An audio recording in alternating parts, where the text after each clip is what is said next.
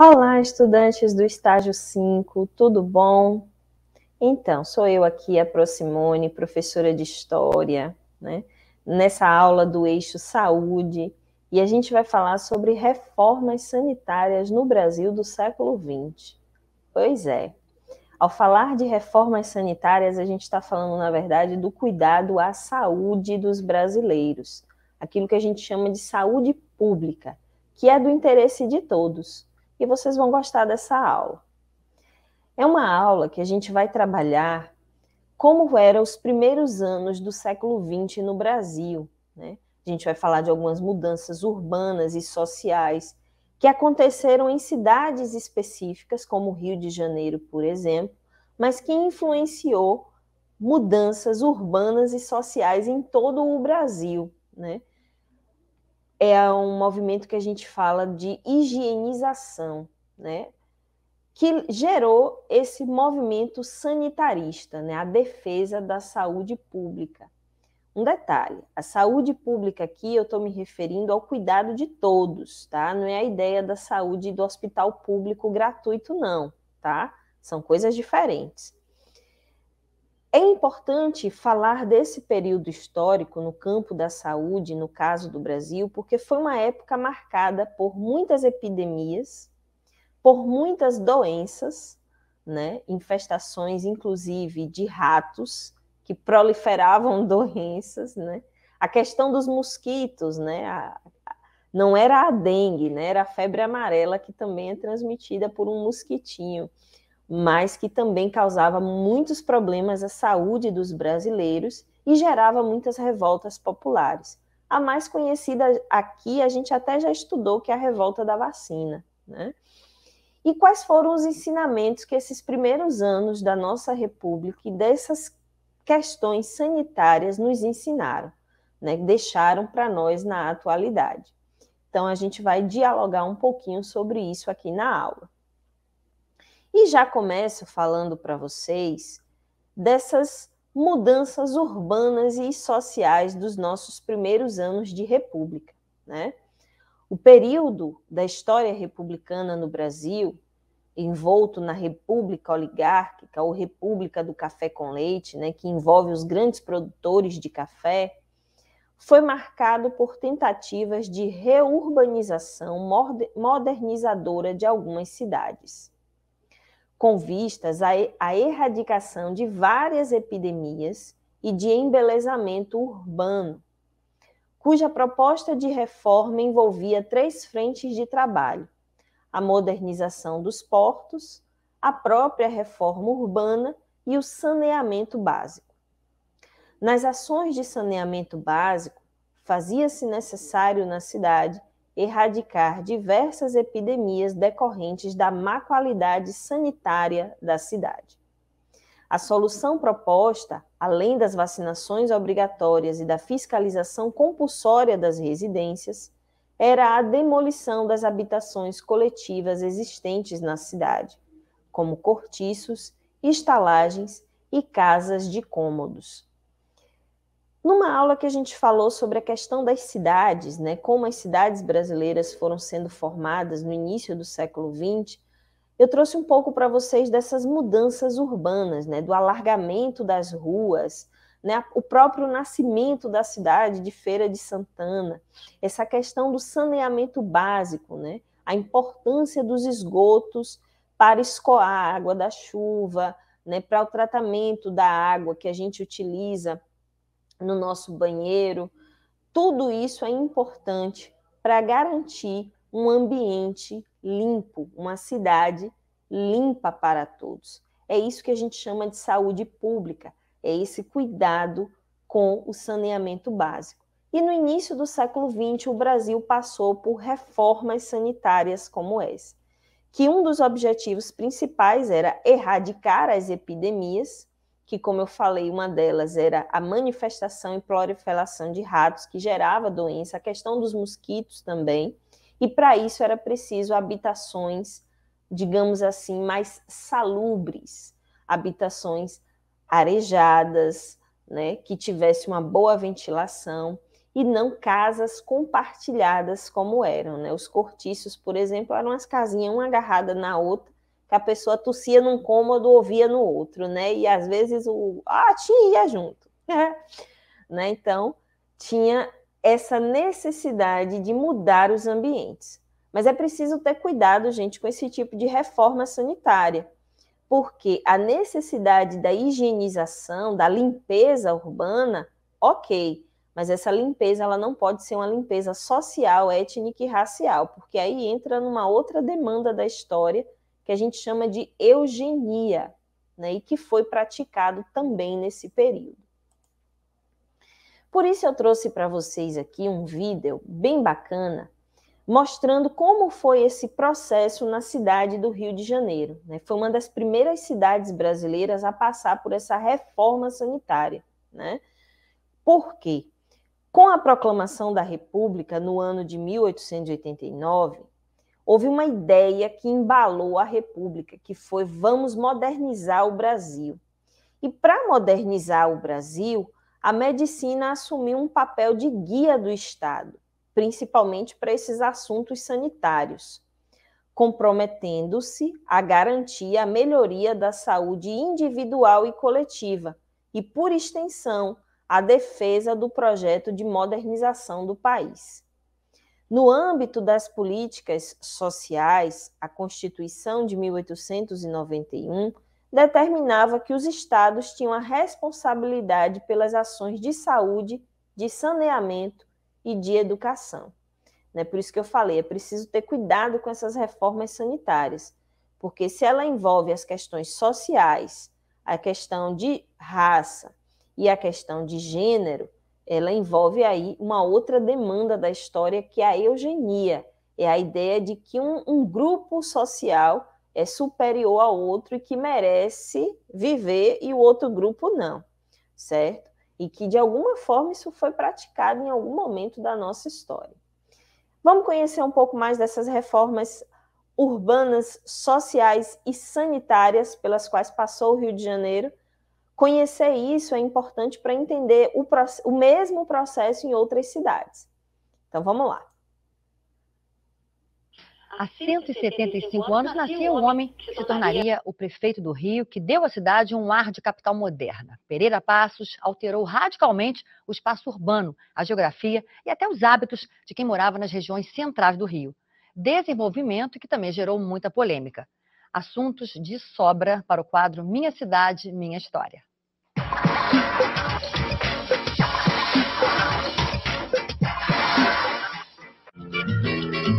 A vida no Rio ainda corria por ruas estreitas e casarios ao estilo português quando um prefeito decidiu transformar a então capital do país numa metrópole. Foi Pereira Passos quem colocou a cidade no século XX foi também uma limpeza social, não muito politicamente correta nos nossos dias. Ele tirou os pobres do centro, jogá-los na Zona Norte. Então, o centro seria o local de trabalho, a Zona Sul, o local onde morariam as elites, e o pobre teria que ir para a Zona Norte, que era o local de fábricas e tudo mais. A mudança começou pelas ruas. 60 delas foram alargadas uma grande avenida com charme francês foi rasgada no centro da cidade, a hoje Rio Branco. Esse projeto de alargamento era também um projeto higienista, ambição é, civilizatória, que era a ideia de você eliminar certos focos de, de, de, de doença. Pereira Passos mudou a cara do centro do Rio, tirou cortiços, mandou demolir 600 casas mais pobres e construiu no lugar grandes obras, como o Teatro Municipal, inspirado na Ópera de Paris. Ao lado do imponente edifício, a Biblioteca Nacional, o Museu de Belas Artes e o prédio da Justiça Federal. Foi no comando de Pereira Passos que o Rio ganhou as primeiras obras de saneamento. O prefeito também criou novas regras de higiene para os moradores e foi o responsável pela polêmica vacina obrigatória, que acabou numa revolta. Essas mudanças mexeram profundamente na vida das pessoas. As elites queriam mostrar que eram civilizadas. O centro da cidade virou então uma grande passarela para o desfile dos senhores e senhoras com seus ternos, vestidos e chapéus franceses para um calor tupiniquim de 40 graus. Sorte é que essa moda passou, mas o legado de Pereira Passos continua imponente no caminho de quem passa.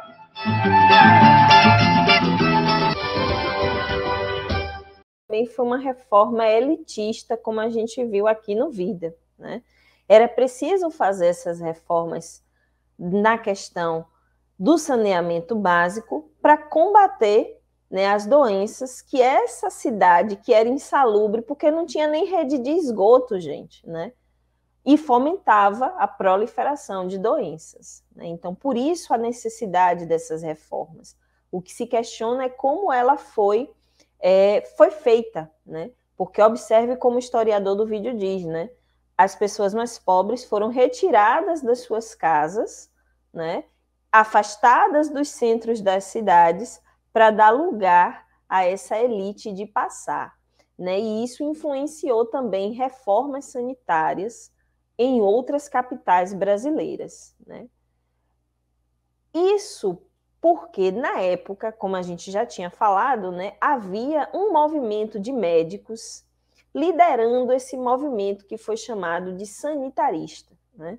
Um movimento que tinha como objetivo é, combater as epidemias, as doenças que estavam na moda, vamos dizer assim, naquele período, que era consequência da falta de higiene e de saneamento básico presente nas cidades brasileiras. Então, a falta de um modelo sanitário para o país deixava as cidades brasileiras à mercê das epidemias, né? epidemia de cólera, tuberculose, varíola, é, a febre amarela, né, a peste bubônica, né, a doença transmitida pela pulga do rato, e outras que surgiam naquele período em função dessa falta de um modelo sanitário, ou seja, um modelo de cuidado tanto da higiene das cidades, das casas e das pessoas, como também pela falta do conhecimento de como essas doenças, muitas delas se proliferavam. Né? Foram estudos que foram sendo feitos ao longo do processo histórico. Né? No início do século XX, a cidade do Rio de Janeiro apresentava um quadro sanitário caótico. Né? A presença de varíola, malária, febre amarela e, posteriormente, a peste bubônica, né? essa doença transmitida pelo rato. Malária e febre amarela, gente, são transmitidas por mosquito. O mosquito irmão do mosquito que transmite a dengue, né? É o Aedes albopicocópios. A pró de história não sabe falar esse nome, não. Né? Mas são doenças também transmitidas pelo mosquito, né? Ou seja, hoje a gente reclama da dengue, da zika e da chikungunya, mas esse problema que os brasileiros têm com mosquito já vem de longa data. Por isso, nada de deixar a água parada aí no fundo do quintal, hein? Nada de largar aí vasilha para acumular água. Estamos no verão, está na época do mosquito proliferar, então guarda esses negócios aí dentro de casa direitinho, enxutinho, para a gente não ter problema com dengue, zika e chikungunya, né? Vamos aprender com a aula de história. Já a peste bubônica, né, a doença transmitida pelo rato, estava presente também no Porto de Santo, em São Paulo. Na verdade, os ratos migravam né, nessas viagens de navio de uma cidade para outra e infestava, né, desde a Idade Média lá na peste negra, como a gente viu em outras aulas. Né? Então, precisava se elaborar um minucioso plano de saúde pública para combater essas enfermidades, porque essas enfermidades reduziam a vida produtiva do trabalhador, né? o tempo útil do trabalhador e da população. E os governos precisavam de uma ação urgente no combate a essas doenças. Então, em 1900, foi criado algumas das instituições mais importantes do país nessa área biomédica e da saúde pública, que é o Instituto Soroterápico Federal, que posteriormente se transformou no Instituto Oswaldo Cruz, que é uma das instituições mais importantes do país na questão do estudo e da produção de medicamentos e vacinas nos combates a grandes epidemias e pandemias. Observe que quem esteve à frente o tempo todo do processo de produção de uma vacina aqui no Brasil, inclusive de mapeamento do vírus Covid-19, foi essa instituição, juntamente com o Instituto Butantan e as universidades federais brasileiras. Certo? No Rio de Janeiro, então, a Fundação Oswaldo Cruz né, foi criada e até hoje tem essa atuação. E no estado de São Paulo, gente, o Instituto Butantan, certo? Vai com o Butantan, né? Só uma piada aqui para a gente lembrar que tem que tomar vacina. Então, essas duas instituições foram criadas para estudar como essas doenças né, se manifestavam, proliferavam e também como combatê-las. Né, e são instituições aí importantes na produção de vacina. O Instituto Butantan também é importante no país, gente, porque é o único que produz soro antiofídico, tá? Soro que combate veneno de cobra, veneno de escorpião e de animais pestilentos. Então, toda a produção do soro para salvar a vida de uma pessoa que por acaso tenha sido picado por algum animal pestilento, né, é, venenoso, é produzido pelo Instituto Butantan.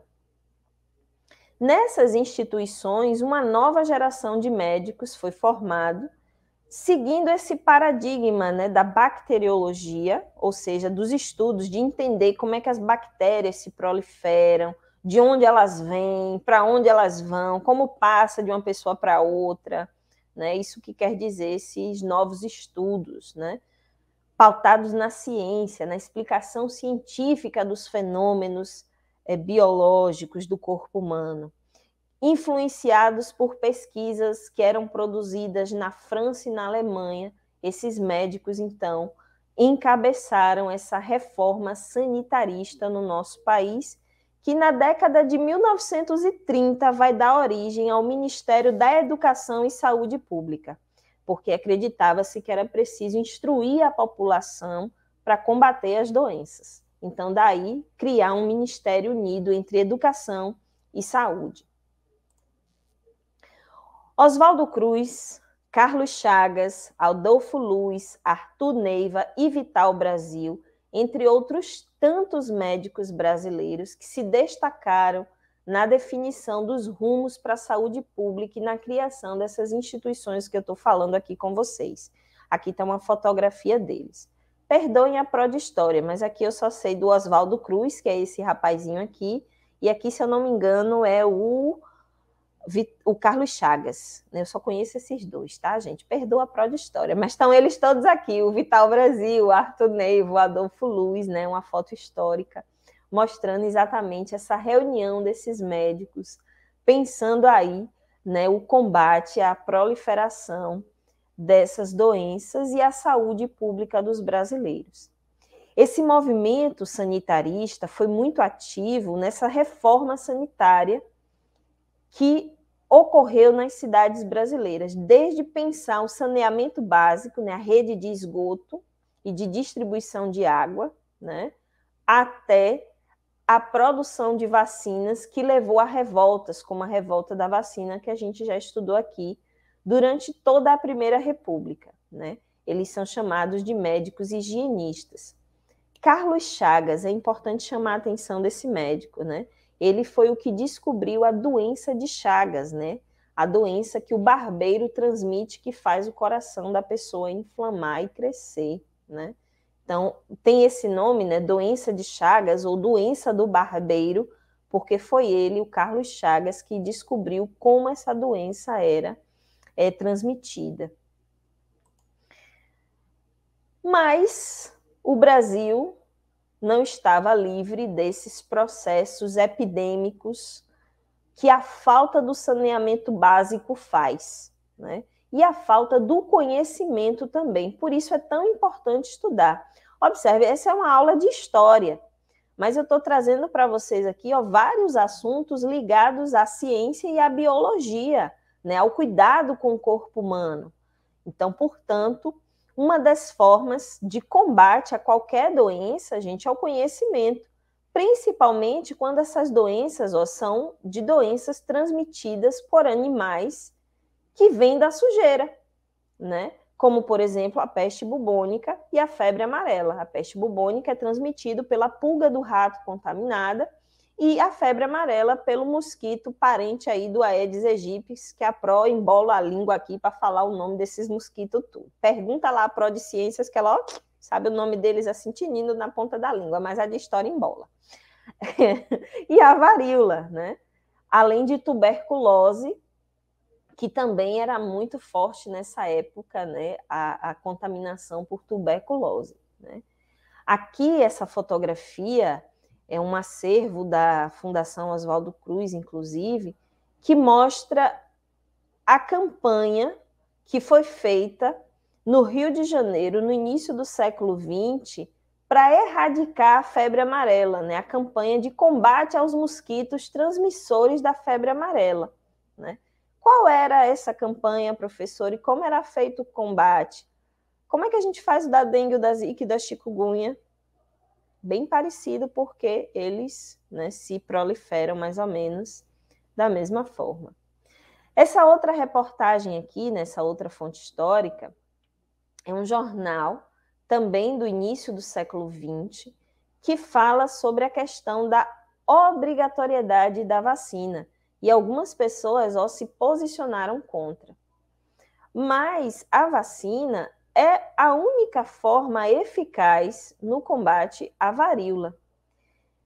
Anos mais tarde também se descobriu uma vacina para combate à febre amarela. Né? Então você também pode tomar uma vacina que protege contra a infecção contra a febre amarela.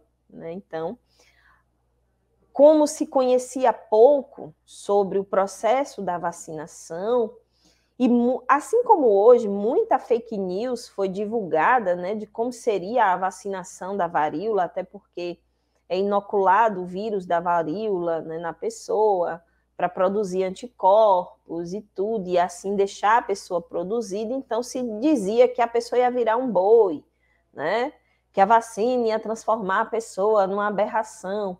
E a própria forma como a vacinação foi feita, né, sem o conhecimento das pessoas. Então, houve uma discussão muito ampla por conta da revolta da vacina sobre como seria a vacinação.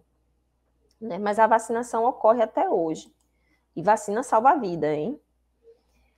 Esse outro jornal aqui que eu trouxe para vocês, é um jornal do, de 1918, quando a gripe espanhola, né, a influenza espanhola, chegou ao Brasil. Em 1918 terminou a Primeira Grande Guerra Mundial. Uma das consequências da Primeira Grande Guerra Mundial foi uma grande epidemia de gripe, ou melhor, uma pandemia de gripe, que ficou chamada na história com esse nome, gripe espanhola. Mas recentemente, em 2015, 2012, 2013, mais ou menos, é, essa gripe passou a se chamar H1N1. Né? É um vírus de gripe letal. Por isso também é preciso ter atenção e os cuidados que a gente está tendo hoje. O primeiro surto de H1N1 na história humana foi o surto né, da gripe espanhola, que chegou ao Brasil, certo? E aí o jornal né, falava: o Rio é um vasto hospital a invasão da influenza espanhola. E falando de que o governo tratava isso de maneira criminosa, né, sem dar a devida atenção. E o jornal continua, né? O povo sofre os horrores da exploração. Não há médicos, não há remédios. Os mesmos jornais, na época, também noticiavam conselhos como esse, né, que vinha da inspetoria de higiene. Olha quais eram os cuidados para combater a gripe espanhola. Evitar aglomerações, principalmente à noite. Não fazer visitas. Tomar cuidados higiênicos com o nariz e a garganta. Inalações de vaselina mentolada, gargarejos com água e sal ou com água iodada com ácido cítrico, tanino e infusões contendo tanino com folhas de goiabeira e outros. Tomar com preventivo, perdão, tomar como preventivo inteiramente qualquer sal de quinino nas doses de 25 a 50 centígrados por dia, de preferência no momento das refeições. Evitar toda fadiga e excesso físico. O doente, aos primeiros sintomas, deve ir para a cama, pois o repouso auxilia e cura e afasta as complicações e o contágio. Não deve receber absolutamente nenhuma visita evitar as causas do resfriamento e de necessidade tanto para as mãos como para os doentes e os convalescentes. As pessoas idosas devem aplicar-se com mais rigor ainda todos esses cuidados. Observe que tem algumas similaridades com o presente e o contexto da Covid-19, né? O isolamento social é um deles, ó, nada de visitar pessoas doentes, né? Para evitar o contágio. Aqui também fala do uso de alguns medicamentos, que como hoje, né, apareceu aí em algumas notícias o tal do kit Covid, mas se provou que não tinha nenhuma eficácia, né? Durante o período de surto espanhol, isso também aconteceu, né? A divulgação de que alguns medicamentos seriam eficazes no cuidado da doença. Mas era uma doença nova naquele período, ainda estava sendo estudada, né? O processo de contágio, de cuidado e de cura, né? O que funcionava mesmo, inclusive para o contexto da atualidade, era a higienização, o repouso e o isolamento social, era o que evitava o contágio. Recomendava-se também nessa época da gripe espanhola o uso de máscara, mas assim como hoje, algumas pessoas se recusavam a usar a máscara, porque assim como hoje tinham pessoas que não acreditavam na doença. Inclusive o presidente da República nessa época morreu de gripe espanhola, né? Porque não fez os devidos cuidados. Então é preciso, né, estar atento às informações corretas de como combater e cuidar da doença. Né? E daí a importância de seguir as orientações e os cuidados médicos. Né? No trato da doença, quem nós procuramos, professora Simone? Os médicos. No conhecimento histórico, aí a gente pode recorrer sim às aulas de história. E essas experiências né, de como a, a, a, nossa sociedade cuidou dessas epidemias e pandemias, né? Eu trouxe a gripe espanhola exatamente para vocês verem que não é a primeira pandemia que o Brasil enfrenta, a da Covid-19, já tivemos outras. Fica alguns legados para nós na atualidade. O que a história pode nos ensinar é que as pandemias são uma constante na história, né? A gripe espanhola foi uma, tivemos tuberculose, cólera, temos agora da Covid-19. É provável que vamos ter outras em outras fases históricas nossas. Então, a história nos mostra que as pandemias é uma constante na história humana e que causam um grande estrago, não é verdade? Afinal de contas, o Brasil, infelizmente, com a Covid-19, tem um saldo aí de mais de 600 mil brasileiros mortos.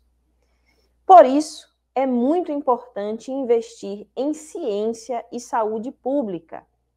Né? A gente não pode, de maneira nenhuma, ficar sem instituições como o Instituto Butantan, as universidades onde se faz as pesquisas e os testes dos medicamentos.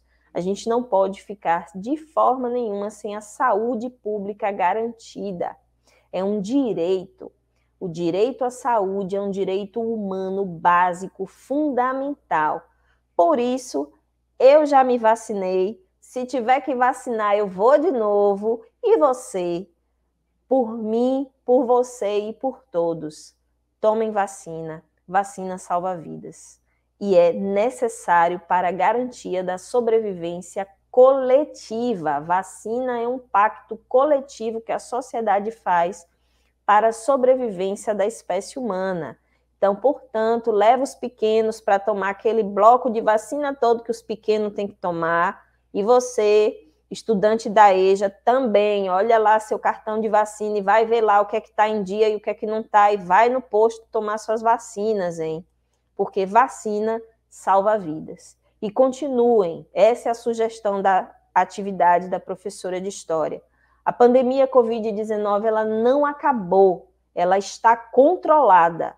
E para ela permanecer controlada, continuem usando máscara, higienizando as mãos com água e sabão, álcool gel 70% e vacinem-se. A Prod História está mandando. Vai tomar vacina, porque vacina salva a vida. Forte abraço para vocês. Espero que tenham gostado dessa aula e a gente se vê no próximo encontro.